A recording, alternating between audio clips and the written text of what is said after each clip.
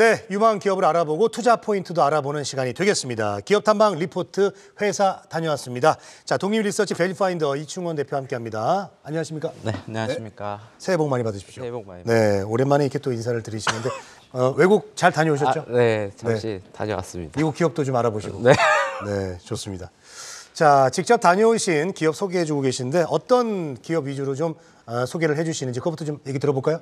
네, 저희 같은 경우에는 이제 시가총액 5천억 원 미만 기업 중에 성장성 아니면 모멘텀이 좀 기대가 되거나 아니면은 사상 최대 실적이 예상되는 기업들 위주로 어, 좀 이제 탐방을 다니고 보고서로 작성을 하고 있는데 어, 오늘 말씀드릴 종목은 제가 지난해 이제 마지막 방송 때 이제 2022년에 탐방을 한 123개를 갔다 왔는데 그렇죠. 이제 연말에 했던 작업 중에 하나가 음. 그 중에서 한 10개 정도를 추려보자 해 가지고 어. 이제 보고서로 좀 이제 내부적으로 작성을 했는데 오늘 말씀드릴 종목이 두 개 정도가 되는데 이제 10개 중에 이제 두 개 정도 음. 또 오늘 좀 자세하게 빠르게 말씀드리도록 하겠습니다. 네, 알겠습니다. 오늘은 이제 기존에 소개해준 기업 중에서 그야말로 이제 어, AS를 해주시겠다는 거죠, 어떻게 보면. 네, 새롭게 어. 아니, 새로운 한 종목도 있고요. 네. 그래서 가- 좀 자세하게 네.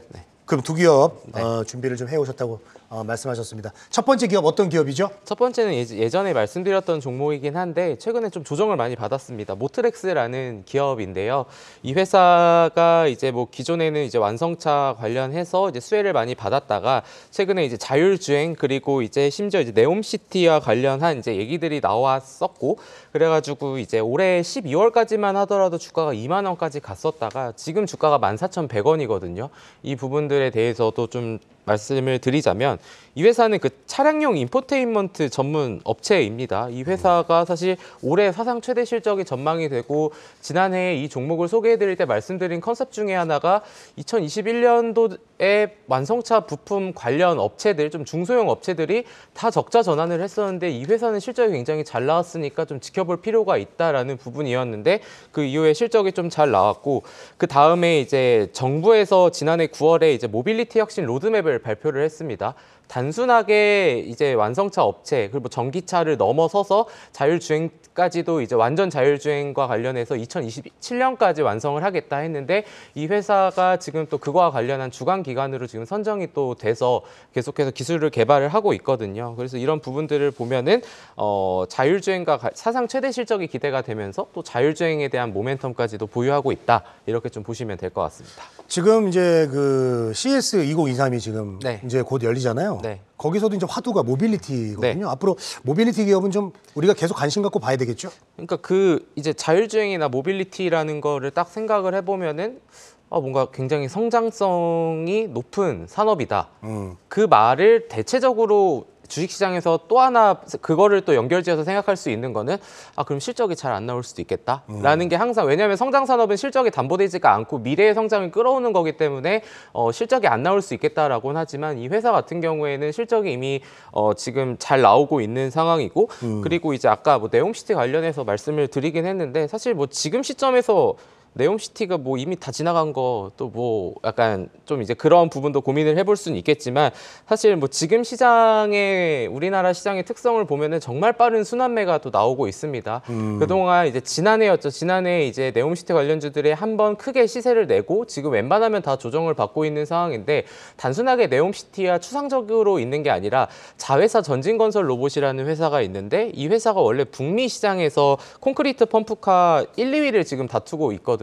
근데 네. 이 회, 자, 어, 자회사인 전진건설 로봇이 사우디아라비아 파트너사하고 또 공급 MOU를 체결을 했거든요. 그렇다 보니까 어, 그러니까 그거는 이제 그렇게 되면은 모멘텀을 받을 수 있는 건 플러스 알파의 개념이고 이 회사 자체도 지금 실적을 굉장히 좋게 내고 있는 거기 때문에 어, 지분을 또 100%도 갖고 있거든요. 그런 음. 부분들 같이 감안을 해본다면은 이 회사는 실적의 안정성과 산업의 고성장을 하고 있는 성장성을 둘 다 지금 잡아가고 있는데 주가가 고점 대비해서 30% 하락을 해 있다 라고 한다면은 지금 시점에서 한번 바라볼 수도 있을 만한 기업이다 이렇게 좀 보시면 좋을 것 같습니다. 그러니까 막연히 네옴시티 때문에 앞으로 수혜를 입을 것이다가 아니라 지금 확실하게 진출하기로 돼 있는 거예요. 네, 지금 MOU를 체결을 뭐 MOU라는 게 사실 뭐 법적 근거가 되지는 않지만 어쨌든 어. 네네네. 사우디아라비아 쪽하고 얘기를 하고 있고 그게 아니더라도 북미 쪽에서 이미 실적을 잘 구현해내고 있는 네. 기업이고 2021년도 전진건설 로봇의 실적이 매출액 1,255억 원에 영업이익 182억 원이 나왔거든요. 네. 그러니까 뭐 실적에 대한 부분도 이 회사를 실적으로 좀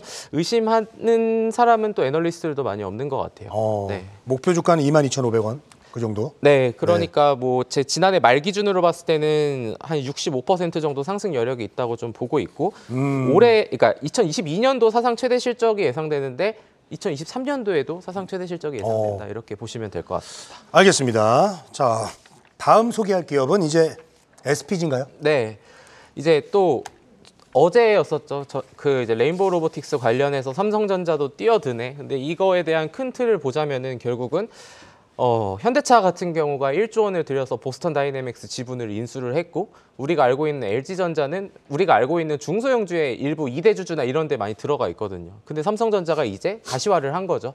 그러다 보니까 결국은 이제 레인보우 로보틱스를 필두로 해서 올라오는 건데 사실 1년 전 이맘때를 생각해 보면 그때 CES에서 가장 큰 수혜를 받았던 섹터가 또 로봇이었거든요. 네네. 그러한 부분들이 지금 어, 시장에 다시 한번 좀 온기를 불어 넣어 주면서 어, 오늘 같은 경우에도 레인보우 로보틱스가 좀 변 동성이 확대가 되고 있기는 하지만 어, 좀 어, 한 3% 정도 상승을 하고 있습니다. 이게 거의 어, 상장 이후에 거의 최고가 부분까지 이제 오늘 또 경신을 하고 있는 모습이고 그거와 관련해서 제, 저희가 이제 지난해 봤던 종목 중에 하나는 SPG라는 회사인데요.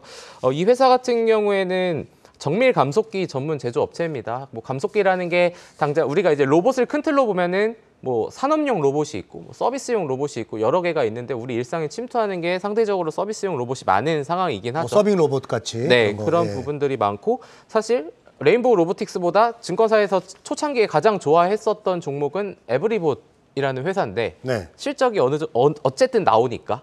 근데 이 회사 같은 경우에도 뭐 감속기 부분은 아직 아니지만 실적 같은 경우에도 2022년도를 예상을 해보면은 매출액 4,450억 원에 영업이익 270억 원 정도가 전망이 되고 있는 그러한 상황이기 때문에 실적이 지금 일단은 가시적으로는 나오고 있는 상황이다라고 좀 보시면 좋을 것 같은데요. 어, 지금 이 회사 뭔가 이제 생각을 했을 때 전방 산업이 안 좋아지니까 반도체라던가 이런 산업이 지금 안 좋다 보니까 이 회사가 진짜 실적이 나올 수 있나라고 생각을 하는데 네. 어, 이 회사 같은 경우에는 지금 어, 국내 자동화 부문 관련해서는 실적이 줄었는데 오히려 미국 쪽으로는 지금 계속해서 늘어나고 있거든요. 미국이 미국하고 중국이 또 분쟁이 좀 있다 보니까 미국에서 중국 거를 안 쓰고 이 회사 좀 접촉을 하고 있다라는 이런 얘기들이 좀 나오고 있는 그런 상황이어서 지금 뭐 매출액도 2020 정말 꾸준하게 20, 21, 22, 23 계속해서 좋아질 수 있다라고 좀 생각을 하고 있고 뭐 감속기의 종류가 뭐 SR 감속기, SH 감속기 이런 것들이 있는데 결국은 로봇의 가장 중요한 것 중에 하나가 감속기 속도를 제어한다는 부분을 감안을 한다면은 어, 이 회사가 또 캐파를 계속해서 증설을 하고 있거든요. 그래서 좀 긍정적인 부분으로 좀 볼 수 있지 않을까 이렇게 좀 말씀을 드릴 수 있을 것 같습니다. 그 감속기가 이제 로봇 기술 중에서 어떻게 난이도가 좀 어느 편이에요? 이게 난이도도 되게 중요하잖아요. 어떤 기술을 갖고 있는지. 그쵸 뭐 이제 최근에 뭐 상장을 했었던 뭐 SBB테크나 이런 회사도 감속기 전문 제조 업체인데 이게 결국은 주요 고객사가 어디고 그 감속기가 그 주요 고객사의 산업에 어느 정도 침투를 하느냐가 사실 가장 중요한 부분이기 때문에 어, 이 회사 같은 경우에는 어, 아마 이번 분기부터 현대차 조지아 공장 라인에 또 부품이 들어갈 거로 좀 얘기가 나오고 있어가지고 충분히 어, 지금 이제 로봇 섹터가 상승하는 가운데 관심을 네. 가져볼 수 있을 만한 회사다 이렇게 정리하도록 하겠습니다. 네, 자 회사 다녀왔습니다. 오늘은 2023 CES에 또 참여하는 모트렉스 그리고 SPG에 대해서 한번 알아봤습니다. 독립 리서치 밸류파인더 이충헌 대표와 얘기 나눴습니다. 고맙습니다. 감사합니다.